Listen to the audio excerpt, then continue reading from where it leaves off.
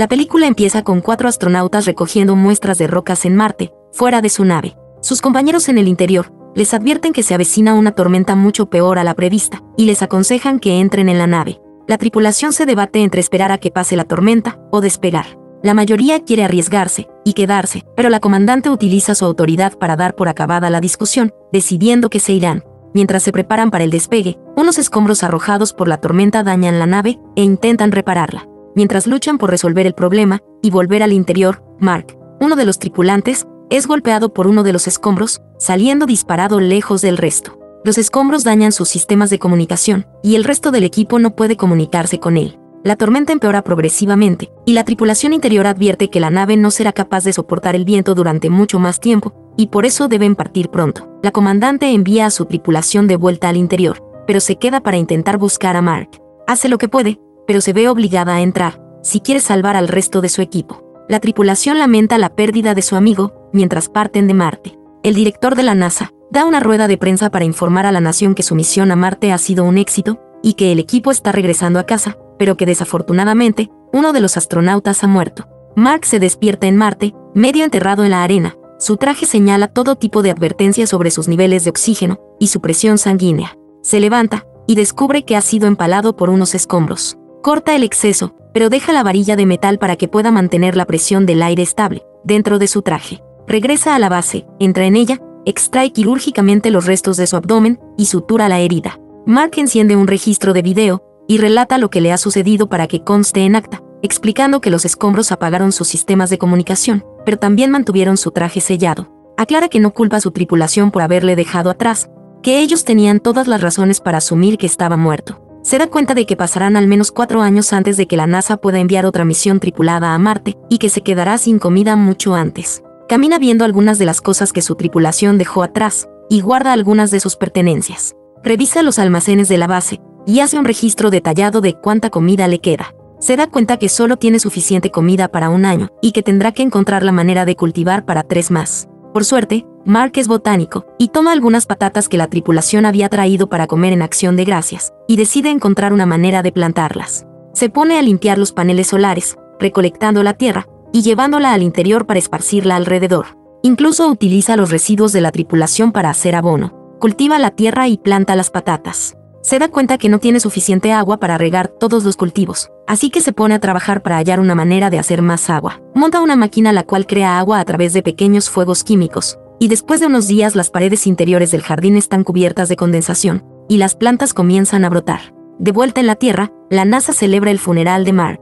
Vincent habla con el director sobre volver a Marte y recoger el equipo que la tripulación de Mark abandonó. El director rechaza la idea, diciendo que todo lo que hagan será televisado, y que no quiere que el público vea el cuerpo de Mark. Vincent señala que el cuerpo de Mark nunca se descompondrá en Marte, y que podrían simular la misión para que parezca que están volviendo al planeta rojo, para recuperar el cuerpo de Mark para su familia. Mindy, una supervisora de satélites, recibe coordenadas que llaman su atención a la ubicación de Mark.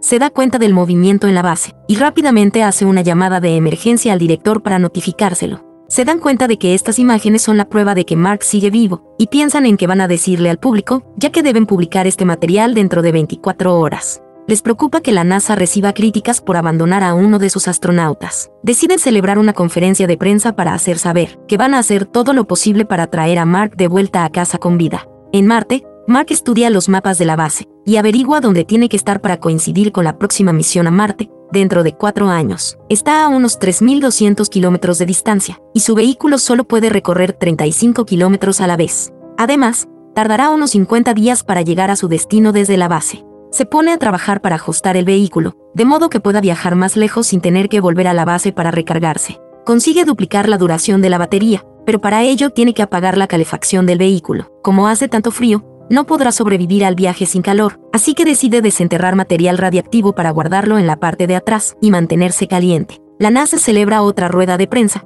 para informar al público que, gracias al seguimiento de sus satélites, han descubierto el objetivo de Mark para encontrarse con la próxima misión a Marte. Han acelerado el tiempo estimado de finalización de nueve meses a cuatro años, con la esperanza de llegar a Mark antes de que algo malo le suceda deciden no decirle a la tripulación de Mark que él sigue vivo, ya que no quieren distraerlos mientras están tratando de regresar a casa. Mark cosecha 400 patatas de su jardín, plantando las más pequeñas y separando las más grandes para comerlas más tarde. consigue localizar el Pathfinder, un vehículo explorador que se perdió en Marte hace varios años. Lo utiliza para comunicarse con la NASA, utilizando la réplica que tienen en la Tierra. Lo único que la NASA es capaz de hacer con él es mover la cámara de un lado a otro. Pero Mark implementa un sistema de comunicación hexadecimal para poder preguntar algo más que sí o no. La NASA utiliza el Pathfinder para dar instrucciones a Mark sobre cómo hackear el rover para comunicarse con la NASA a través del Pathfinder. Vincent le dice a Mark su plan para rescatarlo, y Mark se siente aliviado. Mark quiere saber cómo reaccionó su tripulación cuando se enteraron que seguía vivo,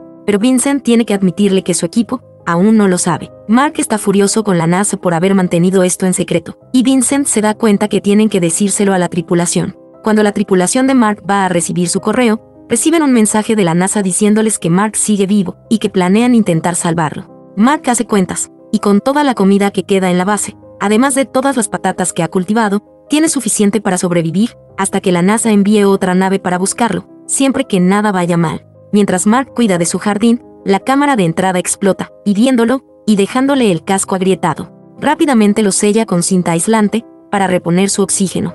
Vuelve a su jardín y descubre que la exposición a la atmósfera de Marte ha matado todas sus plantas y ha destruido el sistema que había instalado para mantenerlas regadas. Mark informa a la NASA del accidente, y estos se dan cuenta de que si no aceleran los plazos para llegar hasta Mark, no tendrá comida suficiente hasta que lleguen. La NASA autoriza a la antigua tripulación de Mark a ponerse en contacto con él, y se hacen bromas entre ellos. Mark limpia la zona de la base que había reservado para cultivar sus patatas, sacando la lona y la tierra, y vuelve a sellar el agujero donde estaba la escotilla. La NASA decide omitir las inspecciones de la nave que planean utilizar para rescatar a Mark, razonando que probablemente no haya nada malo en ella y que la inspección llevaría una cantidad innecesaria de tiempo. En el momento de lanzamiento, la nave explota y todo su duro trabajo arde en llamas. La División Espacial China ve las noticias sobre el lanzamiento fallido de la NASA y ofrece su ayuda. Con la ayuda de Rich, un físico, la NASA es capaz de idear un mejor plan para rescatar a Mark en menos tiempo. El Hermes, la nave de la tripulación de Mark, volverá a la órbita de la Tierra el tiempo suficiente para tomar un nuevo suministro de alimentos, para luego ser enviado de nuevo al espacio a recoger a Mark sin aterrizar.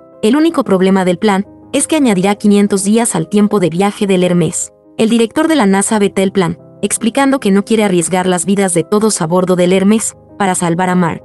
Otro coordinador de la NASA piensa que esto es injusto y envía los detalles del plan al Hermes en secreto. La tripulación de Mark discute el plan entre ellos, dándose cuenta de que si lo llevan a cabo, estarán cometiendo un motín. Discuten si quieren o no pasar otros 500 días en el espacio, lejos de sus familias. Pero al final, deciden que es lo correcto.